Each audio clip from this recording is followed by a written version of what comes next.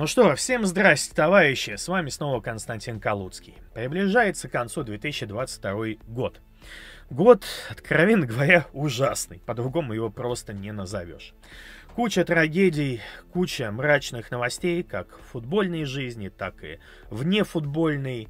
На политике останавливаться не буду, я стараюсь в последнее время табуировать эту тему максимально и на стримах, и в роликах, поэтому здесь, ну, вы все сами все знаете.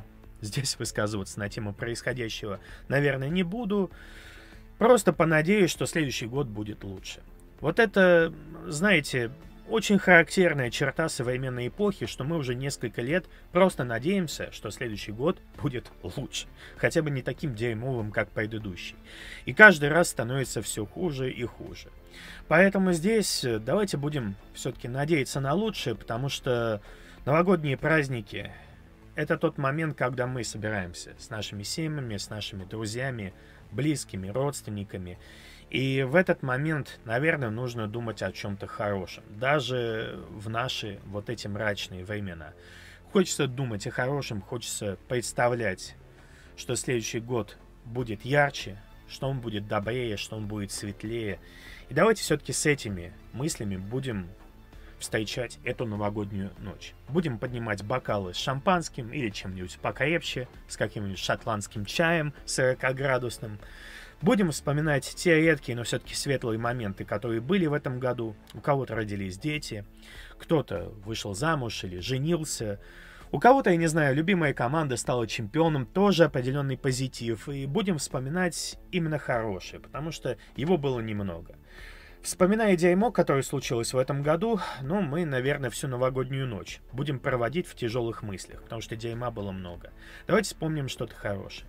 Давайте подумаем о том, что мы многое потеряли, но все-таки что-то и осталось с нами. Родственники, которые по-прежнему с нами, друзья, которые по-прежнему с нами.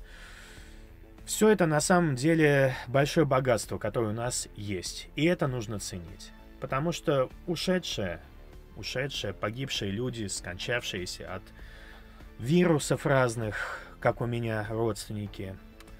Люди, которые погибли в силу определенных обстоятельств, вам известных. Это трагедия, и это то, что уже к нам, к сожалению, не вернется. И поэтому мы, наверное, должны сейчас подумать о тех, кто по-прежнему рядом с нами.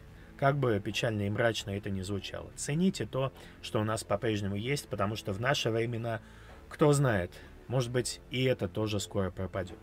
К сожалению. Такие вот годы нам выпали, ребят. Дай бог, мы через них пройдем. Хочется пожелать всем вам здоровья, учитывая все прошлые обстоятельства.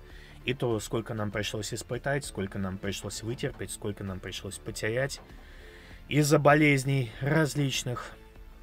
Хотелось бы пожелать вам мирного неба над головой. В наше время это тоже теперь очень актуальный вопрос. И хотелось бы пожелать вам э, простого человеческого счастья в это тяжелое время. Счастья у нас очень мало сейчас, очень много негатива, поэтому, как я сказал, нужно ловить редкие секунды, моменты вот этого самого редкого чувства счастья, когда вам кажется, что все не так уж плохо, а может быть даже все хорошо. Счастье это то, что бывает очень редко. Это сиюминутное, какое-то неуловимое мгновение. И его нужно оставить в своем сердце. Потому что этих мгновений очень мало, и с каждым годом их становится все меньше. Так что, ребят, всех вас крепко обнимаю, всех вас люблю и ценю. В новом году, дай бог, будут хорошие новости, позитивные. Дай бог, будет больше спорта и меньше всего остального. И дай бог, в следующем году мы все будем чаще улыбаться, чаще радоваться жизни и чаще думать о чем-то хорошем, а не о чем-то плохом. Всех с наступающим 2023. Дай бог, он будет лучше, чем 2022.